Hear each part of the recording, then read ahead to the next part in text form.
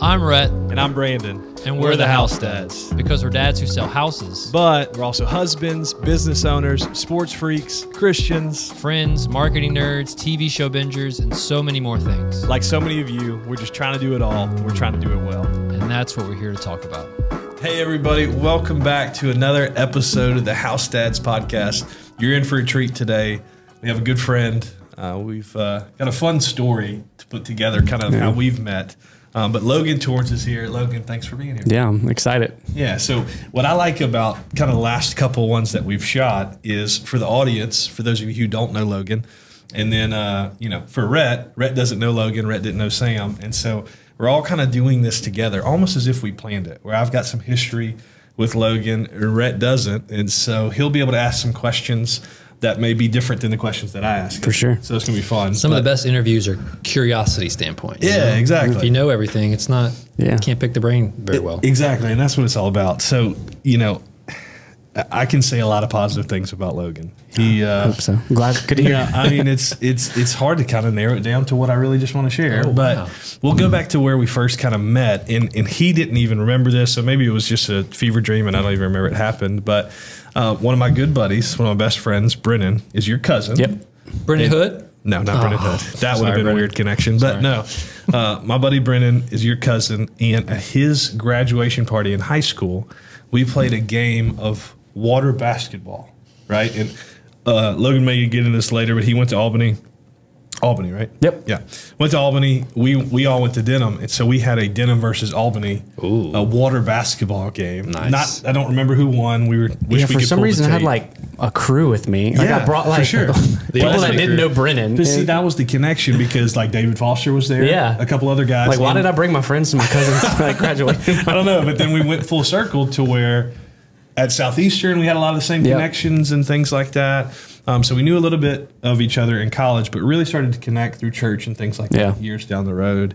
And uh, through that, you and I got to spend some more time together. He was a guest speaker at uh, our student conference and then spoke at our church camp and just got to spend time doing life together and things like that. And what I admire the most about who you are is your authenticity oh, I appreciate that. you know, like just uh, you know, I think in the different circles that you kind of find yourself in, it's like you can get people that put up a little bit of facade and stuff, and it's like uh, you know, just just trying to be somebody that they're not. And so I just always have appreciated from the moment that I met you is that it's just been authentic and real. And I'll tell you from like anybody that you've spoken to, you're a great communicator. We'll get into this more, but they get that when you communicate too, that like there's not really like a a hidden agenda or something like, hey, I'm here. This is what I've got to bring. And that authenticity carries in a lot of different things. It means a lot. Yeah, man. Appreciate that. So glad you're here. Um, we're going to get into a lot of more about how that authenticity is, you know, not only in your life and in your family and your ministry and your businesses and all that different stuff. But I think it's important for you to get some more background on who Yeah. he is. Who am you I? don't. Yeah, Yeah. Uh, Brandon, this guy? Brandon said you would be coming on. I was like, I don't know. Uh, I don't think I've, I've met him before. And he mentioned Luma, which we'll get into. I was like, oh, I've heard of Luma. Yeah. So I love that connection. I'm excited to hear about that story and what you got going on there. Um, I do want to give a disclaimer to our listeners. This is the first episode we have headphones. I'm glad you said it. I'm glad you said it. Brandon, uh, you know, a little behind the scenes. Brandon's a little, he's a little frazzled. I'm right tripping now. out a little bit. He's a little, it's something new, but if you go listen to one of our past episodes on embracing change, embracing growth, Yeah. that's going to be. I feel like I can audibly hear my intrusive thoughts, like the thoughts that used to be silent. Look, like you can hear this little them. tap. Huh? It feels professional. Though, It does. You know? If you are hearing what we hear, yeah, we're we're we're, We're on this. We're good. I'll loosen up. I'll be there. yeah, I'll get but uh, yes, disclaimer: we do look a little different, but hey, we're we're constantly changing and figuring things out. But back to Logan, yeah, man, we just want to kind of hear uh, and the listeners as well hear your story. Tell a bit, tell us a little bit about who you who you are, your upbringing, anything you feel context worthy is worth knowing. Um, from coming out of the womb, ready to go. Kidding. Well, there I was, 1991. um, yeah, I'll give you a, I'll give you kind of a broad broad background, and Please, then if y'all, you know, if we want to dive in anywhere, we can. Yeah. Um, so yeah, I'm uh, I, I'll say my age first. I'm 32. I say that because I was meeting with a guy last week, and uh, we've been talking for like an hour, and he's like, "Can I ask you a question?" Like, How old are you? I'm 32. He's like, I would not have thought you were No, 32. that, yeah. I was- he's like, I thought you were much younger. And I was like, no, I got kids and mortgage and stuff. And So- a mustache. Mustache, yeah. The, the mustache is partially so that I don't look like I'm a preteen. But yeah, um, I'm 32. Um, I grew up down the road in Albany. Um, I was raised by my grandmother. Uh, fun fact, because we're at the table, I was born without fingers on my hand. So that like, I'll know people for like weeks at a time and they'll be like, well, oh my God. like I just, Pull it out. yeah. So uh, that's um that's an interesting thing. I'm like, what's you know, not a lot of people Yeah, yeah, Yeah. yeah. have one hand. There, You bring it up. Yeah, I uh, so yeah, I grew up grew up down the road in Albany. Um, had a, I would say a non-traditional home life. You know, growing up with my grand my grandmother. Um, my I, I had a, a good relationship with my parents for um, my younger years, and then um, as I got older, that kind of distance, and then I reconnected with my mom, and then I, I, she tragically passed away when I was in high school, and um, I have an incredible relationship with my dad now. Years later, talk to him every day. Um, but yeah, it's just uh, it's been it's been an interesting life, Yeah. you know, Right. and uh, I I know I mentioned this before we we started up, but I I went to Southeastern, and while I was at Southeastern, I was pursuing kind of pre nursing school. Is when I first had my like encounter with the Lord, and was really ready to like drop out of college and go you know, like whatever you do to be in ministry. That's what I wanted to do, and um, ended up not doing that. Ended up finishing my degree. So I am a, technically a registered nurse. Right. Um, Nice. keep up my license every year. I don't do just on some classes online, but technically, It's a flex. yeah, I just like want to. I'm like, I, that's it was too much money to not keep this. just- so what does that look like? You have to do like continuing education like we do in real estate every Yeah, it's kind of scary how little I have to do and still be considered an RN. Wait a minute. Yeah, so it's yeah, it's some classes on online. So if And- things pop off on an airplane and like we need a nurse, are you like Yeah, no, I, I feel like I, I would give it a shot. Yeah. I don't Well, know wait, how. tell me what's going on first for yeah. it's crazy because people know that. So that anytime anything happened, like ye- yesterday, that one of our, our people on our staff, they're having some health stuff, and they're like, "Logan, you're a nurse," You- and I'm like, uh, "It's been a few years." I'm like, I'm like the gallbladder. Where is that? Yeah, what does that do? Um, But yeah, I didn't. I ended up finishing my degree, and then was worked in the hospital for less than a year when um, the the church that I, that I'm still at, the Mission in Hammond, they had an opening at the youth pastor position that was that was coming up, and um, invited me on on on the staff, and I've been on staff there since 2016. Was a youth pastor for a few years. Then did youth and young adults for a few years, and now just young adults. Also oversee our groups, like our small groups, and um, and so yeah, that's it's a little bit of my work history, personal life, um, and then I know that we probably get into it, but then two years ago we opened up Luma, Right. And uh, and that's been a journey. That's been really cool. And um, but yeah, Yeah, it's pretty incredible, man. I think uh, I've been able to just see just a little bit of that. Like even when we were having conversations to have you come speak and stuff, it was early on about hey, we're exploring financing options and how to get Yeah. into Luma and all this different stuff. And then the next time we meet, we're like having coffee and you're like trying to get the place open. But even step it back a little bit more. Tell us a little bit about how you met your wife. Yeah, That's it, that that part of it, your family dynamic, all that thing. Yeah. Where you at today with that? Yeah, I met her actually at a young adult service. Um, cool. at that now we lead. We lead the young adult service, but we met at at the young adult service it, when it was still on campus at Southeastern. She had gotten invited by uh, a friend that she went to LSU, and so somebody invited her.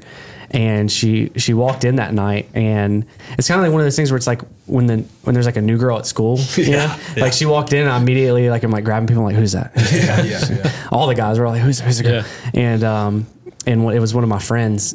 She had invited her, and I was like, the and if you don't know, my wife's taller than me. She's like almost six feet. Right. And I'm you know I'm like five five, five six. so the first thing I asked was like, "Do you know if she dates short guys?" and uh, she's like. She's like, "She hasn't yet." And I was like, "That's First yeah, there's always a first. So sir. we uh, we had service that night, and then I was like a prayer partner at the end. So I was at the front, but we had steps. So I was on like the I was like on the steps. So then they introduced me to her, and so I'm like eye level, Yeah. and uh, so I'm like I have to. I have to throw everything that I have out right now before she knows my height. So I'm like, awesome. I'm spitting my game, and Yeah. uh, and so we talked for a little bit, and everybody was going out to eat after service, and she. Um, and I had a I had a big nursing exam the next the next morning that I needed to go study for. And she's like, "Oh, are you going to eat with everybody?" I was like, "Ah, I have a test." And she's like, "You should definitely come." And I'm like, Okay. you know, like, Yeah, you're like, all right. Yep. So I go out, we go out and eat Canes, and uh, Mm, afterwards, I'm walking out, and I'm like, "Hey, I'm, you know, could can I get your phone number? I would love to take you to lunch next week. And uh, I forget her name. Oh, nice. And so there's this moment where I'm like putting her her number in my phone, and I thought I was going to be slick. Yeah, yeah, yeah. And and it's kind of segue.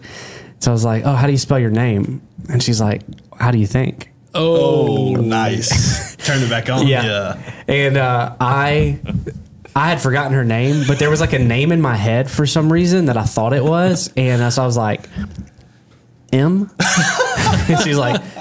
It, it's Shelby, and I was like, Oh, I was like, You know, I was like, M oh, sound. and I like French. spelled it, spelled it real quick, and I was like, like S H E L B Y. And she's like, yeah, and I was like, yeah, okay, I got it. And she's like, okay, yeah. tall Canes girl. so I like, I walk away, and my buddy's at his car, and he's like, and I was like, I got it, but I forgot her name.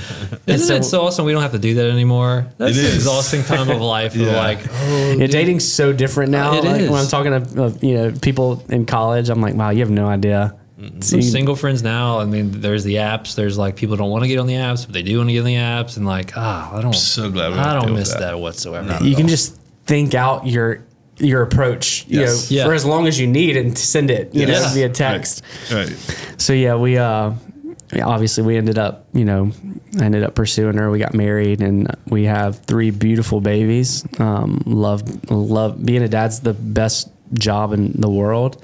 Uh, our oldest Junie, she's 4, she'll be 5 in November. We had him like rapid Yeah, fire. I didn't waste any time. Yeah, it was. Yeah, it's pretty crazy. Yeah, so Junie's four, Wilder will be three um, in May, and then our youngest Cooper, she's a year and a half, and so yeah, it was You are in the thick of it, brother. back to back to back. Yeah. You. Yeah. Yeah. Cooper just like in the last two months started sleeping through the night, so I feel like now we're at like a Yeah, yeah. It, Yeah. feel, it doesn't Feeling seem as impossible. Yeah.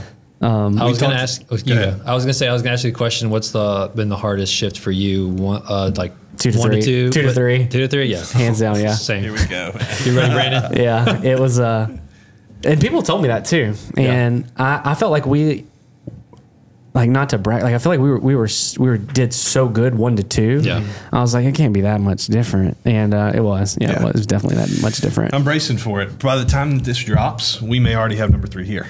You know, so that's yeah. pretty wild. That's But what yeah. Shelby was telling me. She's like, Courtney's about to have a baby. I know, like anytime. So it's wild that uh, you know I like the parallel too. That all three of us have Yeah. three.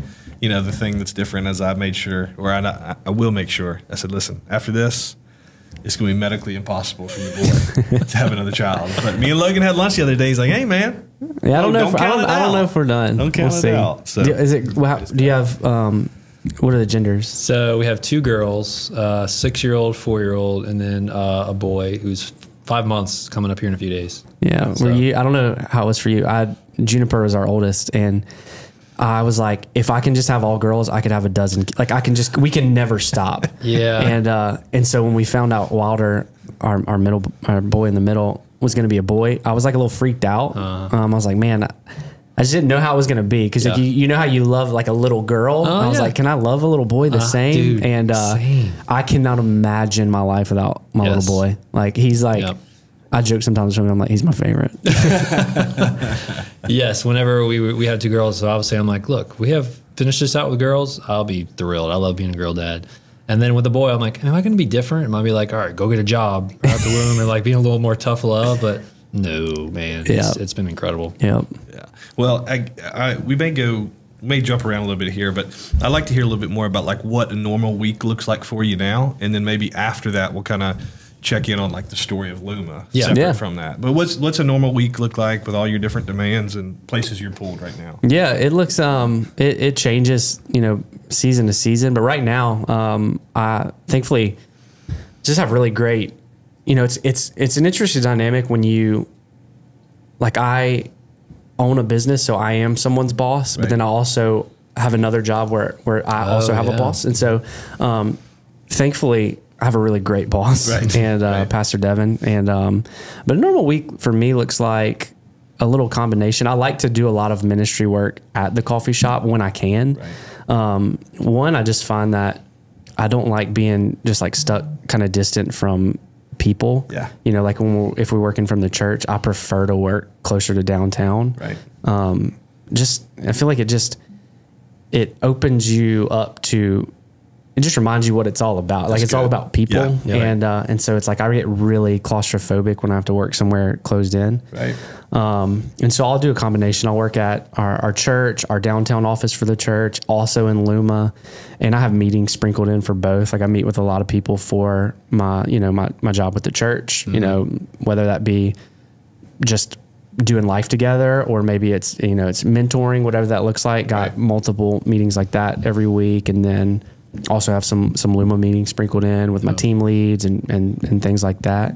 But it, it really is pretty symbiotic, you know, I may be at the, the, the coffee shop meeting with someone and then my wife and kids walk in. So it's like dad, you know, it's like dad mode. And so it's like, it's been Yeah. beautiful navigating, um, I think part of owning a job is just it has shown me how much in the church we make this great divide between the secular and the yeah. Yep. you know in ministry. Yep. And um and it's just like they're not they're not separate. That's right. You know, they're just they're they're the same. That's right. But we just make them so separate. and Yeah. so it's really cool meshing those two. I love Yeah. that. You and know? I think you're speaking to something that we talk about, like even for folks who can't relate to having a formal job in ministry, is that they have all these different areas of their lives that feel so segmented Mm-hmm. and separate. Oh, my home life's separate from my work life. But it's kind of, you know, like that rising tide in your life rises all the boats in your life. Yeah. To where it's like you can be the dad, you can be the businessman, you could be the employee, Right. all in the same Yeah, and, place. and, I love and that. the Lord's in all of it. Yes, you know, right. And uh, so it's it's something I feel like a lot of people that have been in like vocational ministry and then step into like a, a different career, you just have like eyes so much, and I'm sure you've experienced it Mm-hmm. Too. It's like. Oh, I thought I would be doing a lot less ministry, but um, it just looks different. It's a different type of ministry. 100%. I'm sure it's easy to get in a bubble, right? When You're in a, just a church. You're like, this is my just, this is what world the world is, or like the people that I'm interacting with, but it's Yeah, not. Yeah, that's what I'm so thankful for is that because of our experience in real estate and things like that, and in any business, but you know, especially in our career, dealing with people in the largest financial purchase they'll ever make Yeah. is like, yes, you know, Yeah. we're speaking to the real estate for a minute, but it's like, yes, we're helping people buy and sell houses, but it's so much more than that. Yeah. And regardless of your field, I think it's easy to get numb Yeah. to other places and Yeah. other things, what you're doing. But even just like you said, surrounding yourself with people like, hey, the reason we do anything that we do Yeah. is because of the people in our life. Yeah. So that's a big point. It's big. Well, if you're cool with it, I'd love to hear the Luma story of Yeah. like, I mean, you saying you, you went to nursing school Yeah. and ministry, and I was like, oh, cool, I'm gonna be a business owner now. And it's funny because I feel like there's, I enjoy coffee. I wouldn't say I'm a coffee snob, but No, I, I would compared to me. We Yeah. sat down like the first time, and I was like, I don't know. And he's got like a special order and stuff. so- okay. not like a Starbucks special order, but uh, but either way, I feel like with people that like coffee, they always have kind of this pipe dream. It'd be cool to like own a coffee Yeah. shop, Yep. right? So I would love to hear the story Yeah. of the inception of it. And It's uh, I love I love telling the story Luma, and um, it really started off as like, you know, it's like I don't know if you I I suffer from this. Like when I get into something, I like really get into it, and uh, but yeah, it really started me and um. Uh, me and my wife co-own it with our best friends Devin and Catherine, and me and Devin were friends before I even met my wife. Like we were just friends in, in the college ministry, and we took a, uh, I guess like a we took a bro trip one December. Me, Devin, and our friend Israel to we we were going to Chicago, but we stopped in Nashville and stayed with one of Israel's friends, um, Robbie. He's like a famous photographer, uh, Robbie Klein. Shout out. Shout Um, he just moved back to Hammond. He's opening up a studio in Hammond, so Oh, it's like cool. yeah, it feels like Hammond's having a renaissance right now. It- man, it is. Yeah. That may be It's- an, yeah. another conversation, but It's cool. I Hammond's have a lot it of- going yeah. on, dude. Um, but yeah, we stopped in Nashville, and he was like bringing us all to these like really incredible coffee shops. And I had a barista parlor. barista parlor. We went to Crema. We went just. He took us to there was like the the Trinity, and it was like Crema, barista parlor, and Frothy Monkey at the time. Yeah. There's probably a dozen now. Yeah. and it was like a paradigm shift because I'd never been in a like a a coffee space like that, but that was also like a creative space. Yeah. I'd never been in a coffee shop that was anything other than like a Starbucks or a PJs. PJs. Yeah. Yeah. And so it was this space where people were like working and doing life. The coffee actually tasted good, Yeah. like black. You know, it was like, and so it was just crazy. And we're like, this is awesome. We went to Chicago, went to some more coffee shops, and we're just like, this is incredible. Me, I was a barista at Starbucks for five years through. That was like my Oh, college okay. job. Gotcha. You know, that's what I did. And so that's where I started to drink more coffee. Mm-hmm. But that trip is where I really started to appreciate coffee and Right. know that there was this whole world of coffee that Yeah. people, it was like red pill, blue pill. Yeah. And I was like, oh my gosh, this is like a rabbit hole. So, um, fast fast forward a little bit. Devin and Catherine they meet, they get married, they go, they go on their honeymoon to Nashville. They do the same thing, go to all these coffee shops. They're driving back from their honeymoon, and Catherine's like, "Man, what if we open up a coffee shop?" and uh, Devin's like, "That would be cool." They start brainstorming, thinking about. Na- Devin comes up with a name on that road trip back from Nashville. He's like, uh, "Illuminate, illuminate." The word illuminate, and then he's like, "Luma." I like it. Like it's it's it's soft on the you know, it's it's not a harsh word. So they get back. We go to the farmers market that Saturday, and they're like, "Hey, we got a crazy idea. What if we start a coffee shop?" And um, and we're like, "Heck yeah, let's do it." And uh, we we complement each other so well um, as business partners. Like when I I'm like more like I. They call me the realist. I'm like the like the prop, like what everything that can go wrong. Let me think of it, Yeah, yeah. you know, before it happens. And uh, they're they're so they're so dream and vision oriented, which I have a little bit of both of those. Sure.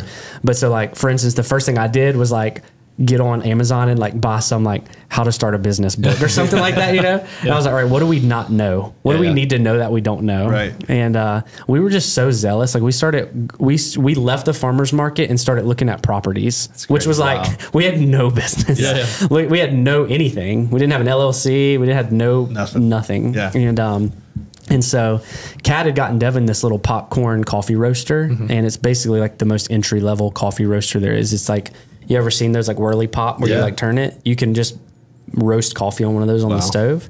So we did that in uh, at our me and my wife's first little rent house. Smoked the place out. You know, it's, you know, tried it. We thought it was so cool. What are the neighbors doing? Yeah. It's just coffee. Smells a little burnt. Yeah, it's like meth lab. What's happening?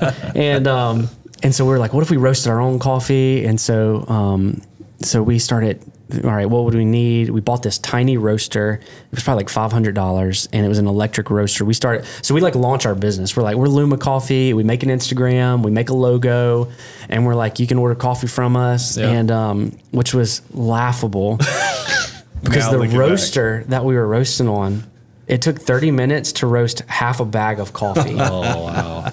It was not meant to like full-time launch. job, yeah, to- and so people would order like you know people who loved us were like, yeah, Yeah. I'll, I'll buy a bag, and we start roasting coffee, and it's like taking hours to to complete one order, and we're like, oh okay, all right, what's how, what are we doing? What are we doing? All right, so Yeah, yeah. we uh we ended up getting like a business credit card and getting a, a bigger roaster. Devin Devin is like extremely um, he can build things and fix things and and create. And so he built a mobile coffee cart and we uh, cool. we're like all right, we'll do some like events to get our name out there. Yeah. It ended up we did an event at our church which we had, you know, the mission is a rather large church, and we did an event there, and they asked us, "Hey, could you keep it here for Sundays?" And so we like we had an opportunity to have it at a place in downtown as just kind of like a corner in their business. It was like the arts, it was Right. the, the arts building, and um, so we're like, all right, what do we do? You know, we this could potentially be a good situation at the arts, the arts center, but also we know at the church we're going to have people every Sunday coming through. Yeah. So we, we ultimately it landed and, and lived in the church for a few for from 2018 to when we um, I mean we still have a, a spot in the church that functions, and uh, that was looking back such a pivotal part Yeah. of the journey because people started to learn our name, our product. We had like a proof of of like proof of concept Yeah. when we went to go to the bank, um, like a history of sales. Right. Let's say, are you selling it inside the church, or Yes, is it more so yeah. like ran? No, okay. no, it was like it was it was not a part of the church. We were like just in there, Got it, and we okay. we had like our point of sale, and we sold coffee. Yeah. and um and so yeah, we had that, and so when we when we when we started to because it had been a few years, and we're like, all right, what are we doing? Where are we going with Yeah, this? yeah, like, are we just going to do this forever? Sure. We're just going to sell coffee online. Like, what's this look like? And so we knew the dream was always to have a brick and mortar, Right. you know, and um because that was what the dream was. Like, what we sparked want- it, right? We You want Hammond. Yeah. to have a really incredible experience, coffee experience, and uh, so we had a lady in the church who was a real estate agent, and she we had like. Oh Shout yeah, well, that first yeah yeah, uh, Stacy Levin. She's a big, huge part of the story, and um, and she. We had no business the first time looking at property. We had her like go bring like, can you show us properties? And was like, I'm sure at the time she was like, Sure. We've all been there. kids. Yeah, friends. and yeah, kids. And uh, but it had been a few years, and she randomly reached out because our dream location was where we're at. It's the old. It's a it's a historic pharmacy in Hammond called the Rexall Pharmacy, and it was just it fit all it checked all the boxes. cool. And so she uh, it it came like open for rent to lease it, and um, she remembered that we had mentioned it before, and she's like, "Hey, you know, I mentioned you know you guys and the owner, you know, would love to meet with you," and so uh, we went and looked at it, and the we didn't have a really good feeling about the who the, who was owning it at that time, but we were like going to move forward, and we were like trying to figure out everything we needed. Like what we didn't have a loan at this point. We didn't any again. We had no business even going this far because we had no idea what we were doing, and um, which I feel like is a is a reoccurring thing in this story. Is like, wow, we do we ever really know what we're doing? Yeah, yeah. And um, and this was January 2020. Yeah. And so negotiations ended up falling through. We were devastated. Yeah. And then we all know what happened March 2020. Yep, yep. And we were like, oh my God, God. this was the greatest thing that could have happened. Because we would have been opening, we would have been, it just would have been horrible. Right. You know, we would have, y'all, I mean, you were all the lockdowns and everything. It just probably would have sunk us. Yeah. And um, so fast forward to um, like November or August of that year, August 2020, things are starting to open back up. In that time frame, the building had been sold, and she's like, "Hey, the building's under new ownership. I mentioned all again. The owner would love to meet with y'all. It might be a good fit." We go meet with the new owner. Immediately, we're like, "This feels good. This Yeah. could happen." And uh, we like start talking, negotiating price, and he's like, "Yeah, I can, yeah that works for me." And uh, we're like, "Okay." We like do a handshake deal, and we walk out, and we're like, "Are we?" Did we just do that? I was like, are we, are we starting a coffee shop?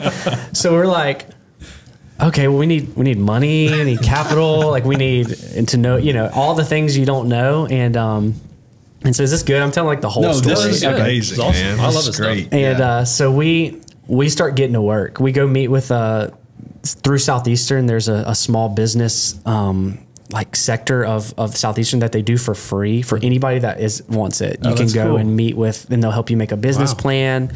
They'll help you like get research for the market, and um, it's an incredible resource. I don't know. If, up, I, man. Shout out Southeastern. I don't know if every campus has it, but it is a is a really incredible That's tool cool. in, in Hammond. And so we met with her, and this is a really funny part of the story is where she's like, "All right, I'll, I'll get y'all's business plan going. Thank you for all this info." She's like, "Last question is like, can you send me your books?" And I'm like, like, like my library books? Like, what do you mean? She's like, no, just like wherever you've tracked like your expenses and stuff, like your QuickBooks, send it over to me. She's like, y'all have books, right? And I'm like, yeah, we have books. Yeah, we have books. And uh, we leave, and I'm like, we've never we've never kept track of anything. What's a book? My CPA asked me the same thing. No I'm kidding. So we, I leave there, and this is one of the like craziest parts of the story for me because it was me. Is so I I'm like, all right, I need to have something to show. So I have this bank account, our business bank account that we've been doing business through. So I find this software that will take all of your statements Oh, nice. and you can upload them and then and then you and it will upload it into QuickBooks. And so I spent oh like I would say collectively probably like 60 hours, maybe more, like into the dead of night, multiple nights, like going back 3 years and allocating each expense from our our Wow. um, our statements into what like what was that for? What was this? Is Right. income? Is expense? To have a set of books Yeah, to give That's to her awesome. yeah. and uh, and it was an insane amount of work. Yeah. And uh, but it was one of those things where I was like, we're like we're there's a finish line. Like this could happen. Yeah. Like this is just a part of it, whatever it takes. And uh, so it was like many hours. This was like before. This was before I had kids, so it was like a little easier. What else am I doing? And um, and so yeah, we so we we keep going down that road. We start figuring out, all right, what do we need? What kind of equipment? What kind of insurance? All like all the stuff you just don't know. Like how do we pay taxes? Where do like what is Right. what is anything? Right. Um, and so we get down to it, and our uh, we were having a trouble. We were having trouble finding a loan. Sure. So my bank to give us a loan, and it was extremely frustrating. Yeah. And a loan for the equipment, for Yeah, operating just, expenses, just like all our different stuff. yeah our business loan, Yeah. like to do everything. Yeah. And uh, yeah, we needed money to yeah buy a roaster, buy an espresso machine, all the, all the things, uh, you know, furnish the place. And um and Chase shot us down. Shout out to Chase or shout shout shout down Chase. and um, and so we were like kind of freaking out because we'd already kind of agreed on this deal with our landlord, and then he starts asking like, "Hey, let's sign the lease," you know, let's, and we're like, "We can't sign a lease if we don't have like, Yeah. money," Yeah, you know, right. and so we ended up. Um, through a connection at Gulf Coast, which is a bank in, in Hammond, it's like a local bank, and um, they uh, we had a connection there. The like the loan off the chief loan officer. Um, I ended up getting on a phone call with him, like sharing the vision, like, hey, this is what we want to do. And, you know, this is what we're, this is the dream. It's like, all right. And um, long story short, it, it ends up working out. We get the loan. But the craziest part is we, he was like, we had sent everything for the loan. He's like, looks good. You're going to get it. And, but the, our landlord set like a hard date. He was like, "Hey, we need to sign the lease today, or or I'm gonna have to start looking at other options." And it was the next day when we were gonna get the is the loan yeah like is the loan getting approved? And so I was like, "Devin, what do we do? Do we sign the lease like just you know on faith?" And uh, and so I messaged our loan officer. He's like, "I can't legally tell you that you're gonna get approved, but it." You should. There's. I don't see any reason that Right. you won't. Right. And so we, me and Devin, were like huddled around this little e-signature, like we're like signing it via email, and we're like, we submit it, and we're like, let's do it. Bro, I bet that next 24 Dude, it was hours crazy. is wild. yeah, it was wild. Uh, next day we get approved for the loan, cool, and it was like, all right, let's let's do this thing. Yeah, yeah, and then that's it was the. We thought it was going to happen in like four months. It happened in like nine months. Yeah. and Yeah, uh, but that was the that was the grind. Yeah. But So, then yeah. also a part, big part of that, and you probably you may be covering this too, is there in Hammond, their location is the historic district, mm-hmm. and so everything you have to do is double and triple permitted. all of and that, this all the tape. You know, you Yeah. gotta. So yeah, Man. it was you know to get get a logo on the window, you had to go. You had to submit something to the historic Oh, district. sheesh. You had to go to this meeting. They had to approve it, and it was just it was wild. Yeah, Well, that's encouraging to me because I'm the type that I, I need to have everything checked off before I take that leap, right? But it seems like a lot of the story is you're just stepping out in faith and like, all right, Yeah. we don't have it figured out, but we're going to figure it out as we go, which is a good, which is an incredible mindset Well- that I need to work on. it was one of those where I'm like you, and it was extremely difficult for me. Yeah. But like I said, Devin and Kat complement me and my Yes. wife so well because my wife is similar, as they're like, like we'll figure, like we can do it, like we can do it, and um and so yeah, we just figured stuff out, and we made mistakes, of course. You know, there was plenty of mistakes, but we um we made some really key good decisions along the way too. With things like we hired a graphic designer, we hired an interior designer, and just really made some investments in areas because we got a tiny loan, by the way, and uh, I, I would imagine for a startup business, Yeah. and um, and so we were like, we had to be really strategic in how we were going to spend this money and make it work. And even in that, we didn't know what we were doing. Like when we opened, we had zero working capital. like we spent our whole loan. Yeah. And now on the other side, opening up a second business, um, I'm like, well, that was wild. Like Yeah, that's we not- didn't have money to like. We were banking that we were just going to have cash flow to be able to you know that it was going to work. employees, be able Yes, to do what you I'm do. like, Yeah. thank God Yeah. that it worked out Yeah, because we crazy, started man. with zero dollars in our checking account, awesome. and uh, thank thankfully people started buying coffee, So and we were able to like pay our bills and pay our team, and not and you absolutely like through all of that you guys did everything so well it's so cool just to know you and be friends with you like the, the countless people that i see on instagram that are like getting my coffee at luma just posting Yeah. their stuff and aesthetically too like Yeah. how y'all built that place to not just be a coffee shop but a Yeah. creative space A third place. So I've been on this. I don't know if y'all ever heard the term third place. I don't. This I could go the rest of the podcast talking about. Talking third about place. Yeah, yeah. it's a uh, it's a socioeconomic term that was coined for a place that is not your home or your work, but it is a place where you go for strictly to be in a social environment. Oh, okay. And um, and so there's been a steep decline in these since like the um, I want to say like the 70s. They've just dramatically fallen off. And Yeah. so traditional third places were like think back when a pharmacy, for instance, it wasn't just a Walgreens. right. A pharmacy Yeah. used to be like the soda shop. Yeah. Yeah. You would go there, you would you know get you know get a malt, and it was like a social hub. Yep. Yeah. The post office, you Yeah. you would go, you would get information about what was happening in the city, and um and I'm reading a good book right now called Bowling Alone, which is on this topic about how third places, how we just as a society don't value social Right. currency like we Yeah. used to, and um and so th- Luma.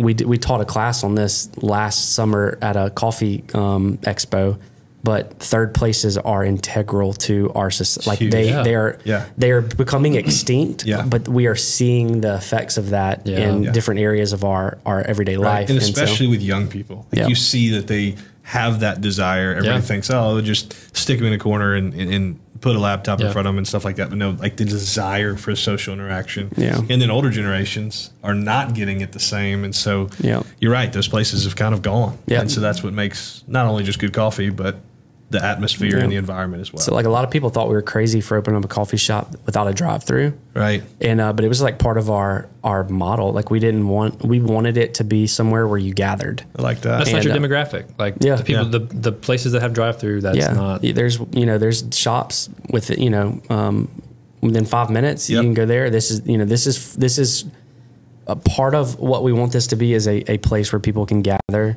Yeah. And um, that's what it is. Like you know, it is. It's a big part of what makes it special. Is we crafted it around like profit was never a driving force and like we never did open luma because we wanted to make money Right. like we never even like considered that Right. it was always like well like this would be so cool for hammond Yeah. Yeah. and um, now that we're like two years in now i'm like okay like i'm getting more like strategic with things Right. of like okay well yeah we you know we what are things that we can bring up net Yeah, of profit you know like the Of like course. just Yeah. stewarding that well Yeah. um, but it was never a part of like the inception of And like I- we want to make a bunch of money And I think it's kind of seen in y'all story of how you got to where you are today. Because I think if money and profit was the driving factor behind it, you probably would have never got there. Yeah. Because like those points where it was like, do we sign this lease? Well, it didn't almost make sense. Yeah. Yeah. Profit wise to sign that lease, but thank God you did because Yeah. look at what's come after Yeah. it. So it's, It's, pretty uh, cool to see, man. I don't. There's a there's a, a brewery in Hammond called Gnarly Barley, and Yeah. um, I just I'm I'm such a huge fan of, of them and their their owners. And I was talking to the owner of Gnarly Barley, and, and he was just sharing it's kind of the same inception, kind of like this would be so cool for Hammond. Yeah. Mhm. And he was just like, yeah, the same the same kind of idea of like this would just be something that would be incredible for for Hammond. And I never once thought about like he's like I'm sure there are people that sell sell house you know sell one house a year and make more money than me. Right. but this is just something that I really just want it desperately Hammond to have. And it's it's a really cool spot in Hammond and they opened up a like a food a food place across the street from Right. it now. You can go and eat. It's called Dinar and so it's just you just see it. You know Yeah. you can see it in a business when it's it's you're not just trying to get bodies in and Correct. out Yeah. but it's like Something this is than that. somewhere yeah It's huge. It's Awesome. huge, man. Well, I'm sure through that, and Rhett, I might be stealing your question here. No, you're good. Through that, there's been a lot of things, and you and I have kind of talked about some of them before. There's some things that once you opened, that surprised you quite a bit. yeah or some lessons that you learned that like maybe we didn't have ironed out in the first place. You want to share a little bit about maybe some of those things that surprised you, lessons that you learned when you guys opened, things countless, like that. so Yeah. many different things, um, and they range from like l- small and insignificant to like huge life lessons about. Yeah. And I learned this about people. I learned that Yeah, you know, right. And um, I immediately think just to our first, uh, our first like six weeks, and um, I, me and Devin joke about it with our um, team lead Kaylee. She's been with us since we opened, Right. And um, just like man, we really had no idea what we were doing. Like we were, we just had, we had like all these systems, you know, Sure, and we're like, yeah. okay, this is not going to work, Right, you know? right. And, um, and so learned a lot about systems. And I mean, if you've ever opened a business, you learn a lot about taxes. Oh my and I'm like, the whole wow, how is this legal? Yeah. How can they take this much money from me? Yeah. And uh, so that whole aspect. Um, but I would say, like on a, a deeper level, um, I think one of the most uh, you just learning what it how to be a boss. Mm. Like I never, I still it feels weird to call myself a boss Sure. because we don't. None of us are of the ownership see ourselves as bosses. Um, but learning how to lead people in a, a work environment because I had experience through ministry. Like I had you know volunteer teams for years Right. and um, from small ones to like larger ones.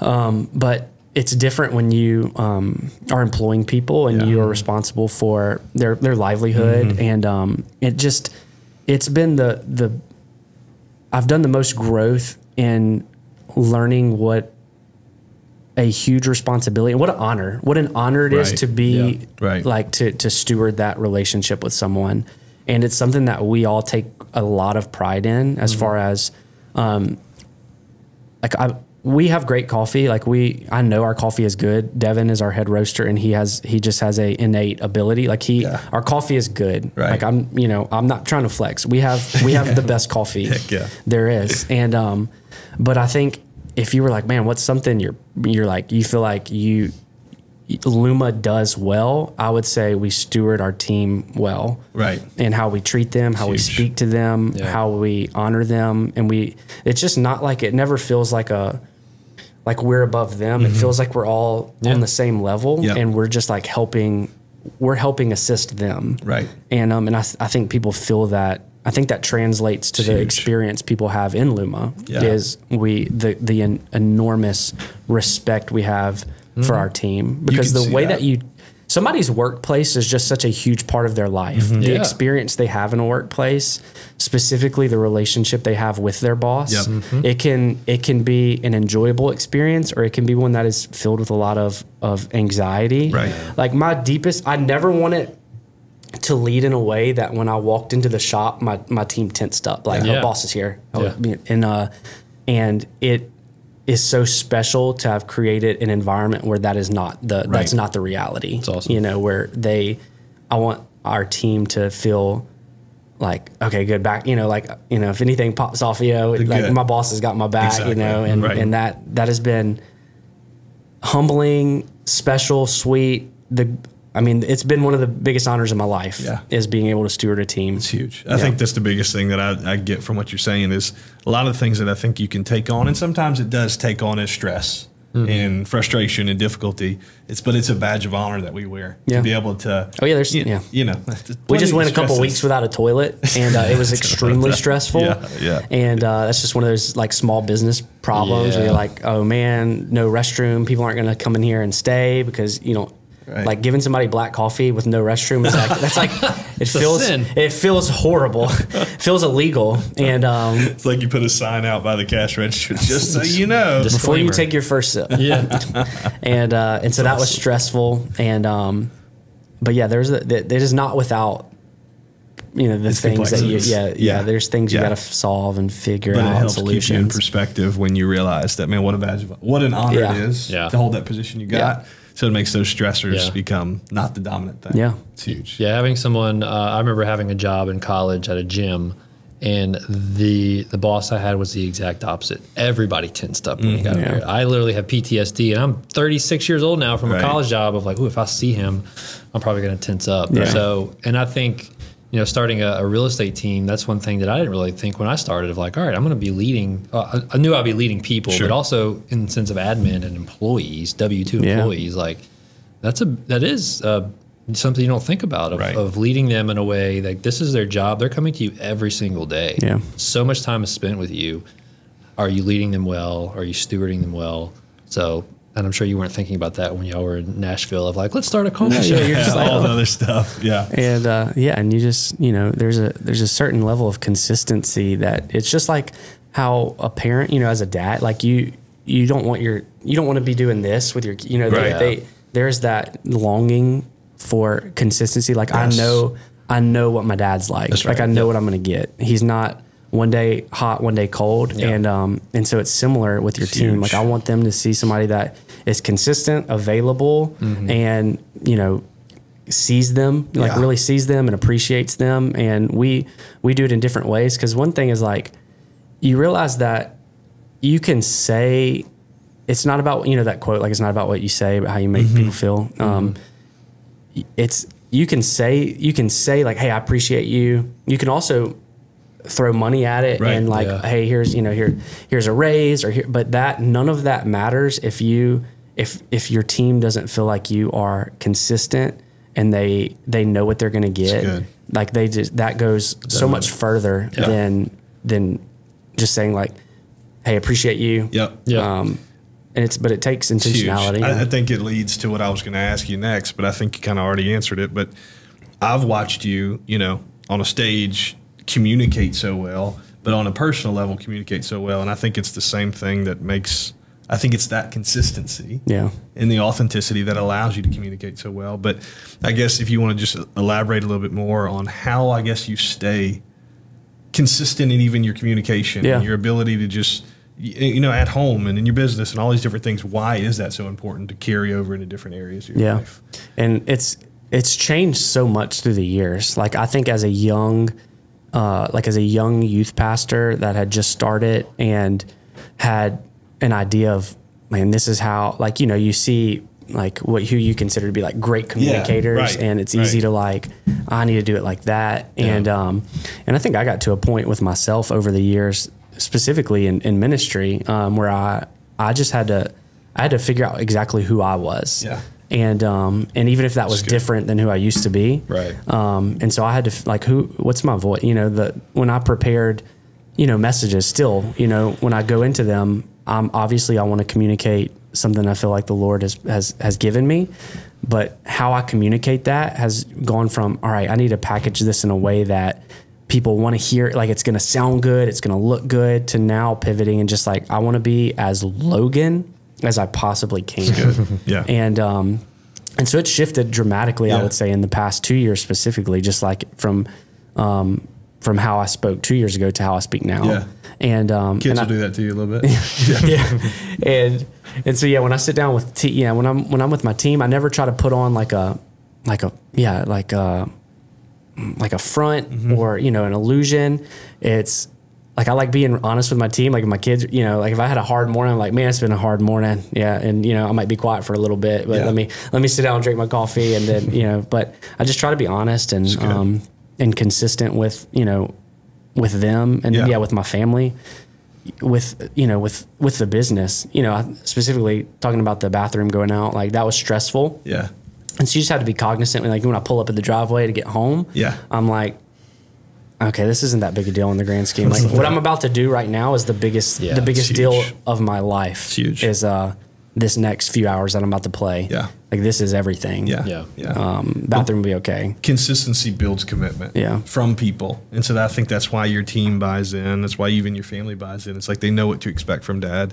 They know what to expect from their boss. Yeah. It's like, okay, well, we come in, we're not walking on eggshells to see what to expect. Yeah. Yeah. And then it's and then it's it's just all, like you said, it's just being authentic. You know, mm-hmm. they know that they're not going to be behind me in a booth somewhere and they're going to hear me like yelling at my waitress. You know, like they Yeah. they there's that history that we've built with them that they know like, hey, this is really we really do we do really care about you as as team members and. Even some of the language, like we don't call them a staff or employees, we call them team member. You know, it's just it's like big. just like a few like little language things too that are important to us. and, huge. You know, it, it it matters and it adds up. Yeah. sure. It's a big deal. kind of transitioned well, mentioning family and Yeah. small business problems. So you're pulled in so many different directions, and especially as a business owner, uh, and even in ministry, like two Yeah. of the most demanding jobs of, of just time. You can't really structure. Okay, I'm going to do this nine to five. Things are going to come up, um, but obviously the the theme of this podcast in general is like we want to do things well, but our family is over all of that. So how do you feel like you prioritize and make sure you prioritize your family over that? And Yeah. not saying you have it all figured out. Yeah. Give that disclaimer, but what's some things you kind of do in that regard? Um, I don't, and it, I don't want it to sound over like simplistic, but I like when I get home, I, I guess maybe maybe I've just worked on it throughout the years. I would say probably those first six months open in Luma probably not as good, and even Right. definitely the first few years of ministry. Um, but when I like pull up in my driveway, it's like I caught like I I think every time like like this is this is the honor of my life what what I'm about to do. good, and so man. like I don't I don't respond to texts, you know, unless it's an emergency. Yeah. Um, but even that, like I'm talking about emergencies, not like this is urgent. Like if it, I I I pretty I shut it down. You know, Yeah. I, I do, and um, I'm not perfect. Do not get it right. Sure. You know, there are times when I'm like, oh man, somebody's you know, our opener tomorrow called out. Okay, well this is this is an emergency because Yeah, then yeah. the shop won't be open. And um, but I think just through the years, um, realizing that it's it's going to be okay. Like everything's going to be okay. Like nothing's like Luma's not going to burn down. Um, that text that text message will still be there tomorrow. That's right. And um, and yeah, I just I just love being a dad and a husband uh, so much. Yeah. And um, and I, y'all probably been there where I'm like, I don't see how people don't love this. I don't. Yeah. Like I, I don't I, I f- I cannot mentally go there in my mind because to me it's the greatest it's the greatest. I think it's just an inadequacy thing. They're like, okay, well, I don't think I can be a good husband. I don't think I could be a good dad. In one thing we've talked about, and we just talked about on kind of the last stop episode we shot. It's like, but it's like we're not. Yeah. We mess up all the time, but it's mm-hmm. the effort, and it's the wearing it as a badge of honor. Yeah. It's like, man, I, I mean, that's where you nailed it. Like just saying, like, well, it's when I pull up in the driveway. It's like, no, this is the best Yeah. part of my day. It's the best. And when I leave in the mornings, I'm like, this is the this is the best job in the world. You Yeah. know, like like seeing my you know, like looking at my kids as I'm backing out, I'm like, I can't wait to get home. Yeah. Um And it's good perspective because there's plenty of times in the morning when I leave, I'm like, that was extremely stressful. And if you don't have that mindset of Yeah. this is an honor, it's going to be a stressful day. That's yeah. Right. That's right. I need to take that on when I'm about Yes. to go to these sleepless nights with the third. So uh, and I think you have to like like fight against that. Like you can always be doing more for your business. Like Yeah. you can, there's Yeah. always something that you can be doing Yeah. to like you know make more money or, and I think some people justify the time away from their family like oh I'm setting them up for the future and I'm not saying that's a bad thing Sure. um, but I think I think you ask any kid or you know even you, you know like later on in their life like what would you have rathered? Would you have rathered your dad been home at four every day or your college paid off? I- I don't know. I hope that I'm I parent in a way that like ten out of ten would rather a my dad been home. Yeah. yeah, yeah. I think anybody ask answering that question authentically would say it's the time 100. percent Yeah. and that's what we talk about all the time. Is like you know you're trading things in the in in the name of I want to provide for my family. I want to do these different things, and it's like, but but what are we forsaking to get that? Yeah. Yeah. you know that, that financial provision, but we're missing out on actually the time that you can't get back. Yeah. Yeah. You hear it all the time on, on the deathbed conversations of like, what would you wish you would have done more? And nobody's going to say, I really wish I would have worked more. Right. Went to the office more. Right. Yeah. You know, It's like, yeah, but you don't remember that till that No. moment. It's like, Yeah. man, in the minute, like Yeah. right now with what's going on, it uh, helps keep those priorities in check. Absolutely. It's huge, man. Well, um, I think as we kind of start to land the plane here, so many people have had that thought on the way home from Nashville, like your friends did. Like, man, let's open a coffee shop. Yeah. Or just, but whatever it is, even if it's not a coffee shop, if it's like, man, it's let's write that book, you know, let's start that business, let's let's, you know, take this leap of faith. What would be a few tips or just some advice that you would share for somebody who's like, no, I, I need to reignite that dream again that I had, or they got something right now that they're like, I, I need to take that leap of faith, whatever Yeah. it is. I think um, one of the biggest, like, just assessing why that dream exists, and um, like the, um, is it Simon Sinek that Yeah, I yeah. think that start with why, Yes. but assessing the motive behind the dream it's good. because if it is something that is surface level um, then i would abandon it Hmm. like you need to you need to pursue something that that that that awakens a deep why on the inside of you That good, is that is driven behind some type of core value as opposed to you know this will be profitable or this will you know this will you know make lots of money or whatever or this will look good this will make somebody happy um, and i think that is because that is what you're gonna have to like pull from and feed from That's when, it, when it gets hard you. Oh, yeah. you know Yeah. um, you know, when those those late nights when I was backlogging years, years. worth of of of tedious. uh, tedious, and I got halfway done and I messed up and had to start over too. Yeah, and because I had no idea what I was doing, and um, but I wasn't like on the at the end of this. There's a big paycheck waiting on me. You know what I mean? It yeah. just was not was. even. That wasn't the it was, it was nowhere in my psyche, and uh, and likewise, it wasn't like it wasn't pride either. Like, man, at the end of this, people are gonna be like, "Wow, look, y'all did it." It was like truly, this will be so incredible for Hammond. Mm-hmm. Like, this will be so cool. And I didn't even think about now. It reaches beyond Hammond, Yeah. like you know, people from Denham, you know, like all over. you know, it's I, I that was like that's crazy to me that Yeah, people drive in to come to our coffee shop and um but that's where I, that's the advice I would give somebody like is this something that when it gets rough it's it's a deep enough dream to where you can pull from that and Hmm. and keep going? Or is it something where it's like when it's going to get hard and you've invested all this time it's like "Nah, I don't even really I don't even really believe in this. I don't even really want to do this. Bro, and you uh, you abandon it. And um and yeah I think you you just have to be honest with Mm-hmm. yourself. And um especially now when there's so much pressure from you know social media and and you just see people doing things and you want to be like I want to do something big. Like I want to do something cool. I want to you know I want that lifestyle or whatever it looks like. Um, just being being able to recognize like okay that is that's probably not a pure motive. I need Right. to like what actually sparks something in me? And um and maybe it's not opening a business. Maybe Right. it is it's it's maybe it's teaching young people really resonates with something deep inside of you maybe you know, that's that's your call like that's what you need to pursue Yeah. um, even though that the business that in your mind that you're starting may be more profitable than being a school teacher, you know, but it's at the end of the day, it's not going to be worth it. Mm-hmm. Yep. It's just going to be, it's going to be draining Yep. for you. Or maybe that dream is to be the dad, to be the husband Yeah. that you haven't wanted to be or that you haven't been. And it's exactly that. Yeah. It's like, why? Why would you want to do that? Yeah. And Because so- that's going to sustain you. Like for me, I have a business partner. Right. And so if, if we didn't have a partnership, this would probably be too much for me. Yeah. It, I couldn't justify what it would probably take Mm-hmm. away from my family.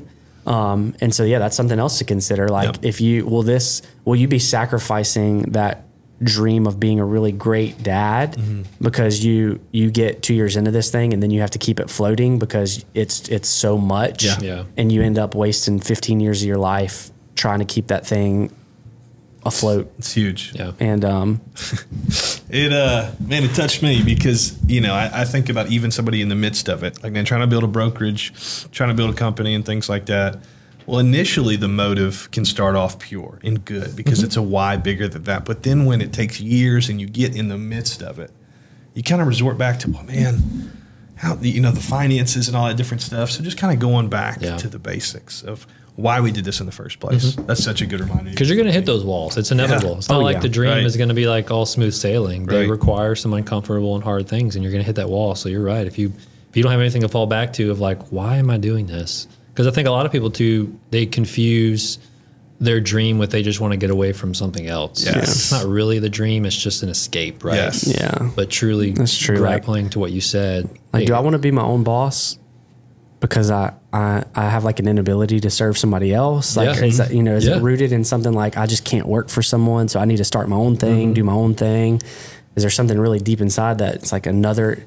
There's actually like a root issue Yeah. in there that you need to like resolve or work out. Um, but yeah, that's a good point. Or the glamorization, like you said, social media. Yeah. They see, oh, they're doing something cool. I want to do something cool too. right. Well, like if you take social media away, you're still going to be fulfilled in Yeah. what, what you're doing. yeah, yeah, That's good, man. It's That's huge, dude.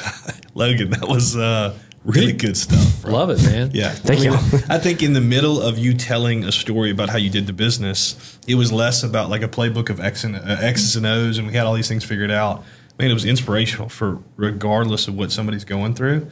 Um, man, it was encouraging. That was I appreciate stuff, it. Yeah. Yeah. Well, rapid fire. Yeah, let's end this with some lighthearted stuff. Yeah, let's get it. You want to go first? You want me to? Uh, I can go. Okay. Uh, we talked a little bit before about how your wife's family and y'all like love Disney, right? My wife's family. I wouldn't say you. okay. my wife and my wife's family. Okay, good. Wife and wife. Well, then, man, this may answer the question. You have a week, Okay. completely paid for you and the family at Disney, or a week for you and the family completely on an all inclusive. What do you choose? All inclusive. Okay, easy. That was just too easy. I think I. oof. what would Shelby say? We've got a I lot of Disney Shelby- listeners, so be careful. I think Shelby would say Disney. Yeah, yeah, honestly, yeah. because it's just in her. Yeah, you yeah, know, she, she was bred. yeah. She was bred to be a Disney. You know, it's like they.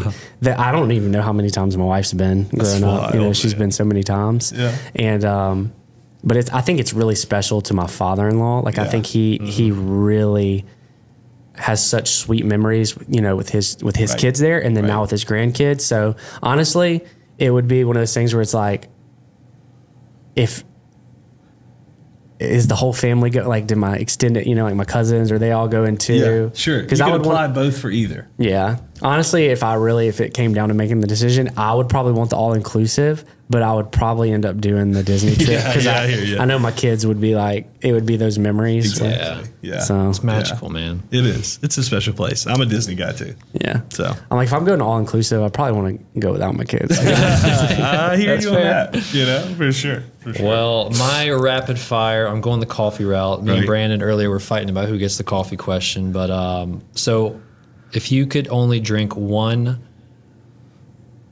style of I guess style yeah. or brewed method or whatever of, of choice for the rest of your life, what would it be? Yeah, I pretty much only drink one thing anyway. Okay. So, There you yeah, go. so I, my go-to drink is a cortado.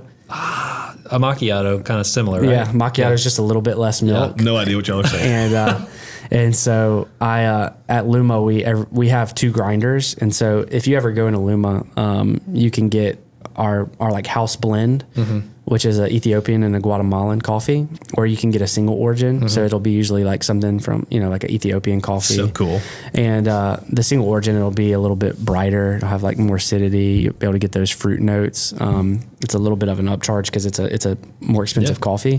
And so my my go to order is a is a cortado with whatever is on the single origin that day. Love and it. Uh, so, so my team is like that's like one of the cool like some of the perks of being like Yeah, yeah. a coffee shop or like going in and like like Kaylee specifically, she'll uh, or Kenna, if I walk in, like they'll start making me a drink, and I'm like, yeah. it- you know, it's like nice, it's cool. Yeah, you know, that's it's awesome. like That's awesome. they're like, you want your your usual? And I'm like, yeah. And they whip it up, and it's like you don't have to pay for it. Well, I mean, I guess I am paying. For, I have paid In one way I've another. paid into it, yeah. And uh, So cool. but yeah, cortado for sure. That's Nice. I'll have to get that next time That's I a go. good answer. So, from a coffee shop owner perspective, are you guys kind of?